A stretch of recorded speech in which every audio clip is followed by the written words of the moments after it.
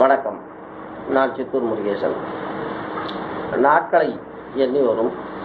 எடப்பாடியாருக்கு ஒரு bumper offer கொடுக்கலாம்னு இந்த வீடியோ பதிவு போட்டுட்ருக்கேன். ஆக்சுவலாக இது வந்து நம்ம வெப்சைட்டில் பதிவாகவே போட்டிருக்கோம். மாண்புமிகு தமிழக முதல்வர் எடப்பாடி அவர்களே உங்களுக்கு ஒரு ஓப்பன் லெட்டர் போடுற நேரத்தில் உருப்படியாக எதையாச்சும் செய்யலாம் தான் ஆனால் துண்டு பிரசுரம் கொடுத்தாலே ராஜ துரோக குற்றத்தில் அரெஸ்ட் பண்ணிடலாமே கையோட கையா என்னையும் தூக்கி உள்ளே வைக்க மாட்டீங்களா? அந்த பதினாறு வருஷ கதை பொதுவெளிக்கு வராதாங்கிற நப்பாசையில் தான் இந்த லெட்டரை அடிச்சுக்கிட்டு இருக்கேன். அதென்ன பதினாறு வருஷம்? உங்கள் தலைமைச் செயலாளர்கிட்ட கேளுங்க சொல்லுவாங்க. இல்லைன்னா வெயிட் பதிவின் கடைசியில் சொல்கிறேன் நீட் தேர்வு மேட்டரில் மத்திய மாநில அரசுகளை விமர்சித்து துண்டு பிரசுரம் விநியோகம் செய்கிறத ராஜ துரோகம்னு யாரோ சொல்லியிருக்காங்க. நீங்களும் வெள்ளந்தியா கைது நடவடிக்கையை முடுக்கி விட்டுருக்கீங்க. சீதை இலங்கையில் ராவணனோட கஸ்டடியில் எப்படி இருந்தாலோ என்று அவதூறு பண்ண சலவை தொழிலாளி மேலே ராஜாவாக இருந்த ராமன் கூட ராஜ துரோக குற்றச்சாட்டில் நடவடிக்கை எடுக்கலை. ஆர்கே நகரில் நீங்கள் ஓட்டு கேட்க போனீங்களே அப்போ சசிகலா தினகரன் நிலை வேறு. அந்த காலகட்டத்தில் இன்னைக்கு கொடுக்குற அலப்புறையெல்லாம் கொடுத்துருந்தா நீங்கள் ஹீரோ ஆகியிருக்கலாம். ஆனால் இன்னைக்கு தினகரனுக்கு இருக்கிற இமேஜ் வேற. எப்போ நீங்கள் தில்லி கண்ட்ரோலுக்கு போய் உங்கள் ஆட்சியை ஊழல் ஆட்சின்னு சொல்லி தலைமை செயலகத்துக்கு முன்னே போராட்டம் நடத்துவேன்னு சொன்ன ஓபிஎஸோட கை கோர்த்தீடோ அப்போவே உங்கள் இமேஜ் காலி. மேலே மேலே சொதப்பி தினகரனை ஹீரோ ஆக்கிக்கிட்டு இருக்கீங்க. கட்சிக்குள்ளே மட்டும் இல்லை கட்சிக்கு வெளியவும் இதான் நிலைமை. எதை தின்னா பித்தம் தெளிவுங்கிற நிலையில் நீங்கள் இருக்கீங்க. உங்களை சொல்லி குத்தம் இல்லை. உங்களை ஒழிச்சு கட்டவே ஐடியா கொடுத்துக்கிட்டு இருக்கிற கோட்டரியை சொல்லணும். கொஞ்சம் வரலாற்றை திரும்பி பாருங்க பாஸ் இந்திரா காந்திக்கு சீனியர்ஸோட பிரச்சனை வந்தது. உடனே அந்த அம்மா வங்கிகள் தேசிய மயம் எஸ்சி ரிசர்வேஷன் ஒரு யூட்டர்ன் எடுத்தது. பிபி சிங்குக்கு ராஜீவோட பிரச்சனை வந்தது. படக்குன்னு ஆயுத வேற ஊழலை தூசு தட்டினாரு.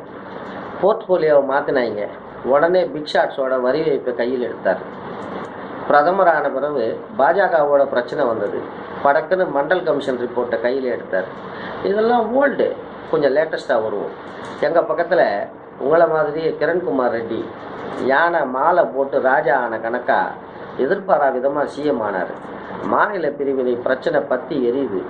இன்னைக்கு தினகரன் உங்களை தெரிக்க விடுறாப்புல அவரை ஜெகன் ஒரு பக்கம் தெரிக்க விட்டுக்கிட்டு இருந்தார். அந்த சைக்கிள் கேப்பில் என்னெல்லாம் திட்டங்களை கொண்டு வந்துட்டார் தெரியுமா? இன்னைக்கு கிரண்குமார் ரெட்டி ஃபீல்டுலேயே இல்லை. ஆனால் ஜனம் இன்னைக்கும் அவரை வாழ்த்திக்கிட்டே இருக்காங்க. உதாரணம் அவர் வர்றதுக்கு முந்தி சிறுதொழில் கடனுக்கு முப்பது சதம் மானியம் இருந்தது. அதை அதிரடியாக ஐம்பது சதவீதத்துக்கு உசுத்தினார். என்னதான் துட்டுக்கு ஓட்டுங்கிற நிலை இருந்தாலும் எல்லா ஓட்டையும் துட்டு கொடுத்து வாங்கிட முடியுங்கிற நிலை இன்னும் வரல.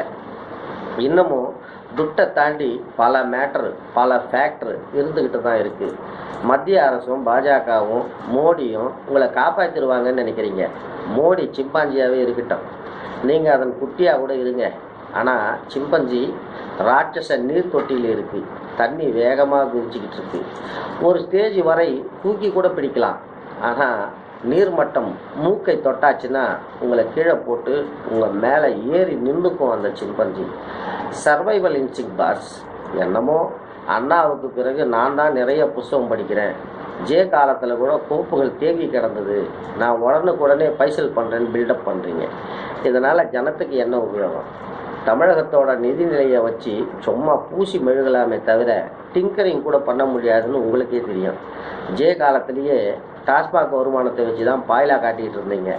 இப்போ நிலைமை படு மோசமாக போயிட்டுருக்கு. மத்திய அரசோட பாஜகவோட மோடியோட கண்ட்ரோலில் நீங்கள் இருந்துக்கிட்டு ஒரு ஆணையம் பிடுங்க முடியாது. இவங்க கட்டுப்பாட்டில் இருந்து படக்குன்னு பெயில் அவுட் ஆகி அதே நேரம் மக்கள் அரசியல் விமர்சகர்கள் மத்தியிலையும் கெத்தாகணும்னா சிம்பிள் ட்ரிக் இருக்குது நான் சொன்ன பதினாறு வருஷ கதையும் இதில் அடக்கம். கையில் மாவு இருந்தால் தான் ரொட்டி சுட முடியும் பரோட்டா சுட முடியும் சமோசா சுட முடியும். மாவு இல்லாமல் ஒரு மானாவும் செய்ய முடியாது. அதே மாதிரி கஜானா கலகலன்னு இருந்தால் தான் எதையாச்சும் செய்ய முடியும். ஜேவா இருந்தால் ஜெயா டிவியில் வந்து கசப்பு மருந்து அது இதுன்னு பேசி பஸ் கட்டணம் முதலாக எல்லாத்தையும் உசத்தி வருமானம் பார்க்க முடியும். ஆனால் நீங்கள் அந்த அளவுக்கு ஒர்த் இல்லை வேட்டியை உருவிடுவாங்க. ஜனங்க மேலே பாரம் சுமத்தாம அரசு நிர்வாகத்தை எளிமைப்படுத்தி அரசு வருவாயை கூட்டிக்க நான் உருவாக்கிற திட்டம்தான் மாநில கனவுகள். ஆக்சுவலாக இது இந்திய நதிகள் இணைப்பு திட்டத்துக்கான நிதி திரட்டும் மார்க்கம். ஆனால் நீங்களும் தமிழக அரசும் கேடுகட்ட நிலையில் இருக்கிறதுனால. இதன் காரணமாக தமிழக மக்கள் படாத பாடு பட்டுக்கிட்டு இருக்கிறதுனால. என் திட்டங்களால் ஈட்டப்படும் உபரி வருவாயில் ஒரு ஐம்பது சதவீதம் தமிழக நதிகளை இணைக்க பயன்படுத்திக்கிறதா உறுதி கொடுத்தா போதும். என் மாநில கனவுகளை அமல்படுத்த அம அனுமதி தரேன். கொட்டு வாயில் நீங்கள் இதை அமல்படுத்துறேன்னு ஜீவோ போட்டால் உடனே ஒரு பத்தி கோர்ட்டுக்கு போய் ஸ்டே வாங்கிடும். ஆகவே என் திட்டங்களை அடிப்படையாக வச்சு டீட்டெயில்டு ப்ரொப்போசல்ஸ் ரெடி பண்ணி நேர சுப்ரீம் கோர்ட் அரசியல் சாசன பெஞ்சுக்கு கொண்டு போயிருங்க. தமிழக நிதிநிலை ரொம்ப மோசமாக இருக்கிறதால போர்க்கால அடிப்படையில் இதையெல்லாம் அமல்படுத்தி ஆகணும். இல்லைன்னா மாநிலம் திவாலாயிரம்னு கெஞ்சுங்க கதறுங்க. சுப்ரீம் கோர்ட் கிளியர் பண்ணுற விஷயங்களையாவது உடனுக்குடனே அமல்படுத்த நடவடிக்கை எடுங்க. You will be out of danger அதை விட்டுட்டு சின்ன பிள்ளைத்தனமாக பாம்லெட் கொடுத்ததுக்கெல்லாம் தினகரனை கைது பண்ணிக்கிட்டு இருந்தா? மத்திய அரசோட பாஜகவோட மோடியோட காப்பை மீறி அவர் வைக்கிற ஆப்பு ஆசனத்துக்குள்ள போய் வாய் வரை வந்துடும் பிறகு உங்கள் விருப்பம். நன்றி வணக்கம். சித்தூரிலிருந்து முருகேசன்.